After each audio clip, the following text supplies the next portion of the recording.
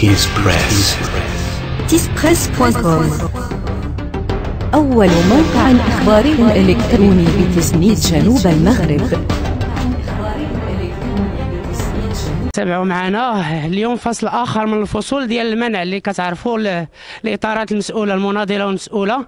الجمعية المغربية لحقوق الإنسان اليوم كتمنع من استغلال قاعة خاصة بجمعية أنامور. هذه كنقول قاعة خاصة وليست قاعة عمومية. كنشوفوا كيفاش أن السلطة جابت جابت جابت عناصر القوى العمومية ومنعت منعت الناس أنهم يدخلوا للقاعه ومنعت الناس اللي داخلين داخل القاعة أنهم يغادروا القاعة وفيهم ناس اللي هما مرضى. هذا المنع هذا.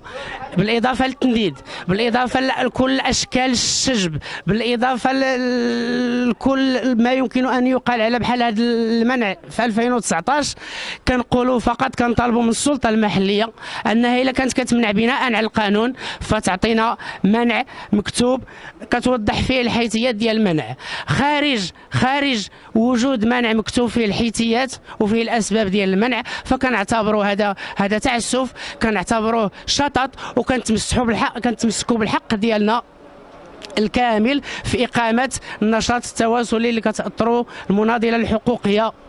خديجة رياضي. و- ودعوة للجميع للالتحاق بمقر جمعية أنامور لمؤازرة الجمعية في هذا التعسف الجديد اللي كيتمارس في حقها.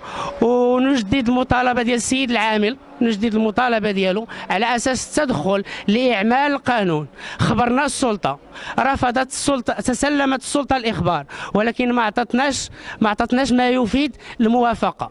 اذا كما خبرنا السلطة على نشاط على على هذا النشاط هذا من حقنا اننا نطالبوا بتبرير قانوني بتعليل قانوني اللي على أساسه كنتمنعوا الآن. وتحية للجميع.